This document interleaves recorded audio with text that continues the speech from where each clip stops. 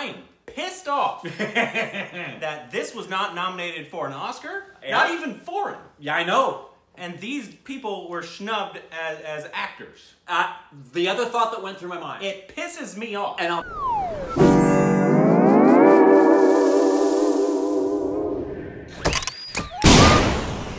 Hey, welcome back to our Stupid Reactions, the Idiots. I'm Korbin Miles. That's with me, as always, is Rick Segall. How do you do? If you're new to our channel, go and smash the like button, subscribe, and ring that little bell to be part of the notification squad. and please follow us on our various social media platforms. We highly appreciate it. Instagram, Twitter. I love the ding. And we have now watched our second wow, film from India. We're amazing. I know. Be proud of us. Clap We for are. us. Uh, but we watched um, the movie Pink, what came out in 2016. Correct. The first one we watched was uh, Three Idiots. I'll link that right here. Loved it. Loved it. This is a very different film. Yeah, this one. It's, this one's kind of hard to say. All is well. Yeah. Very different. Yeah, very different film. So, um, what did you think of it? I thought it was fantastic. Mm-hmm. I thought the script was really freaking great. Yep. I thought the writing was just the the thing that went through my mind while I was watching it was it's like a stick of dynamite. When you light a stick of dynamite with a long fuse, it just sizzles and sizzles, Mm-hmm. and you know something's coming, and you know something's coming, and then you get toward the end of the courtroom, you get some explosive stuff going on in the Yeah, courtroom. that um, the the thing that struck me most about this film, um, outside the subject matter, which um, We'll get to. yeah. uh, was the was the acting. Yep. Everyone in this film was amazing. I Every, especially the main old guy. I can't Yes. pronounce any of their names. We will. I, I may butcher this as well as I can get to them. It's. I believe it's Amitabh Bachchan. Okay. Uh, and then the, the, the three main guys, especially the main girl who is Yes. the accused, The accused. was brilliant. Brilliant. And I am pissed off that this was not nominated for an Oscar, Yeah. not even foreign. Yeah, I know. And these people were snubbed as, as actors. Uh, the other thought that went through my mind, It pisses me off. and I'll be posting this at some point on my Instagram or my Twitter. Please follow us there. Yeah. Did we say that already? um, is this besides the dynamite analogy? This sentence kept going through my head watching this thing. Some of the greatest acting you could ever see is being done by people you've never known. I know. But here in America, but we have, yeah. us, I've, us. I, I've heard some of the best actors are- acting, yeah, you've ever seen is being done by actors you've never known. It was freaking brilliant. Um, my, uh, I'll get into other stuff more. My biggest issue with it is I found out after because I wanted to know. The director is male, I thought about that too. and also the three writers are all males. Right. So there was not a single female Right. writing this story that is told from a female's perspective. Right. And that not saying a male can't tell that story, but Right. to ha- you need to have. I think it's very important to have a female perspective somewhere, whether it's writing Which- or directing. Which they very well may have had that in the collaborative process and other people who were involved with the production. And I see the other side of that coin as well because, yes, I would have loved to have seen that this was directed by a woman or one of the screenwriters was a woman, but it is good to see that there are men who are telling Oh, yeah. this story. no doubt, that's no doubt. I'm not saying coin. that the, the film was fantastic. I Yeah. loved it. If it if, if it was nominated for an Oscar, I would have put it almost at the top. That was the same year The Revenant came out. Um, Yeah, that which is amazing because that was the same year The Revenant came out, and the whole Me Too Mm-hmm. Times Up movement was really just starting to gain some legging. Yeah. And this is this could this is as relevant now as it was. The fact that it, it hasn't ago. been big in the United States makes me mad, mad. because this, if it came out now, would win the Oscar. for this year. Just- yes. Yeah, absolutely. Hundred percent. Yeah, it would have been the best movie of the year. It, it was amazing. Um, the I think the it, it almost broke my heart in so many places. oh man, Uh, I don't know. I've watched. Did you- A lot. Did you cry? No. No. Of course you didn't cry. no. No, I you'd have to rip out my toenails and. Uh... There's only basically two ways you can make me teary. Dogs. Dogs There you go. and military. Yeah, kill, and so Yeah. make a movie about the death of a military dog. They didn't they have that? They did, and ago? you would No, you refused I to go refused see it. go see it. Anyways, but yeah, the um, the the parts in it that just really broke your heart was I think a lot of it was Spoilers, by the way. Here we go. yes, obviously. Uh, a lot of it was cultural too. The Yes. fact that a lot of these women were looking down uh, when they were being spoken to. broke Great, my great heart. observation. Uh, and I, I don't know if that's a cultural thing, if it's still a cultural thing, or if it was just heightened, if they were just ashamed Right. um, of all this stuff.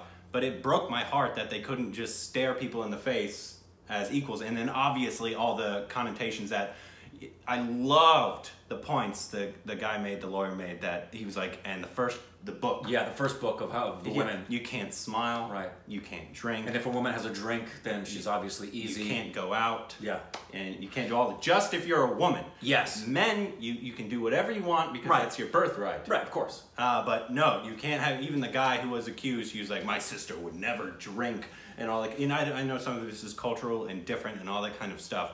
But coming from America, that would just piss me the hell off. Yeah. Uh, and the fact that even And living uh, just and living on their own. and it was such a great point when sh- the woman lied and said they did take money, Oh, that was amazing. and then she was like, "Does it matter?" Right. even if I am a prostitute, if I, If say, I say no, no- regardless of if we're in the middle of sex, if I say no at It's any no. point, it is done. I loved it when he said that too toward the end, and I'm getting emotional right now mm-hmm. thinking about that ending scene, especially because with the backstory on that, where we don't know, and I love that we don't know this. We don't know his backstory. We don't know if he and his wife had daughters. Yeah. maybe they had daughters I was wondering. them. I was wondering. Yeah, And it you was, know? it was nice you didn't know, but I still wanted to know. I wanted that too, but the fact that I didn't made it even more powerful because I was trying to figure out what is what motivates this guy to want to come out of his retirement to help these girls, and how's that linked to the loss of his wife? Because he says at one point, if a daughter says no, if a girl says no,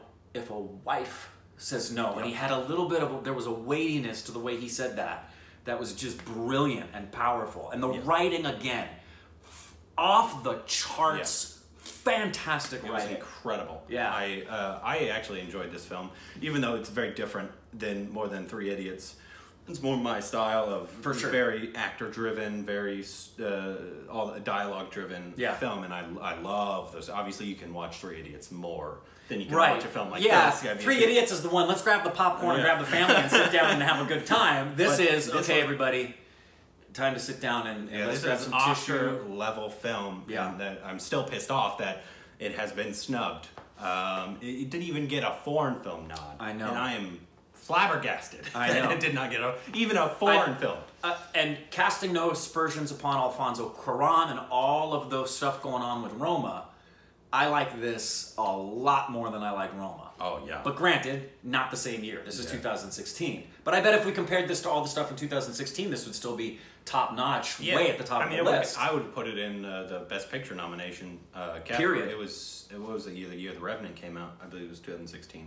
Of all those films that year, this should have been in those Yeah. in that ten category Uh, for sure. There was definitely more, but yeah, the um, it it just really spoke to me, and then the fact that obviously the the way these women felt during this trial, and that they were basically put down Right. by a society. I thought the judge did an amazing job. Yeah. uh, he he did really well, and so did So the, the prosecuting attorney. prosecuting. Yeah. I mean, you hated him, and that's his job. That you were supposed to. did a great job. He did a he did a phenomenal job. Yep. Um, but uh, just the the way when she had to speak on if she was a virgin or not, uh, the fact that that's so shameful to talk about um, in in I don't know if it still is in that society. I don't know if this is a heightened or what year this Yeah. was taken. But um, the, it just it, it just really broke my heart. I do know. I do know a little trivia about this. Is that I I think it's the region, the same part of India where this takes place. If it's not, forgive me, but I know there's a police station that made the police officers watch this film to be more sensitive to women, hmm. which is I wish fantastic. And then it, I think it also had a screening at the United Nations.